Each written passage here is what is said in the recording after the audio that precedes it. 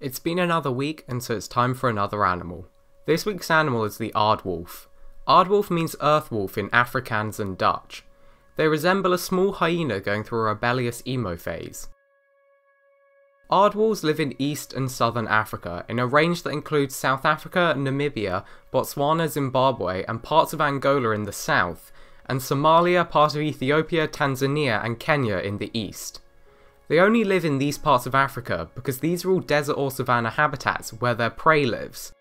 The reason there are two separate populations of aardwolf is because of Miombo forest in between them that the aardwolves can't live in due to the lack of their food source.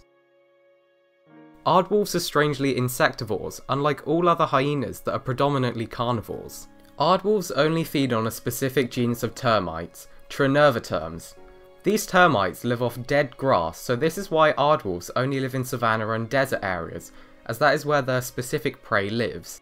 Aardwolves have long sticky tongues like aardvarks, and this allows them to eat around 250,000 termites in one night. We don't know much about the mating behaviour of aardwolves because they are shy nocturnal animals, but we do know that they mate around autumn or spring, Two to four cubs are born, and the pair of aardwolves will raise the cubs for a year together until the cub is old enough to leave. Aardwolves are monogamous, meaning they mate for life. The most notable attribute of these animals is that they eat termites, and their mouths have many adaptations to help with this. As mentioned before, their tongues are very sticky and broad to get the most termites possible, their muscles also have relatively little hair to stop termites sticking to it instead of going in their mouths. They do still possess canines like other hyenas, but their cheek teeth are mere pegs, as all they need to do is mush up soft termites. Aardwolves are generally nocturnal animals, but during winter will sometimes become diurnal and sleep in their burrows at night to conserve heat.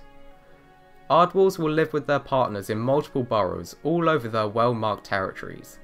They will use old aardvark or porcupine burrows and only make their own if they have to. Aardwolves are obviously in the family Hyaenidae and are thought to have split from other hyenas around 15 to 32 million years ago. This makes them the oldest extant species of hyena.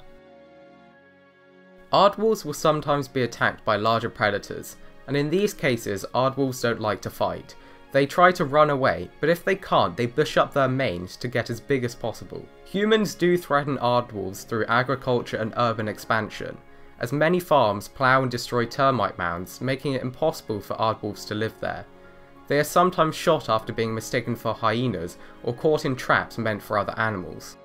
Despite this, aardwolf populations are stable, and the IUCN classes them as least concern.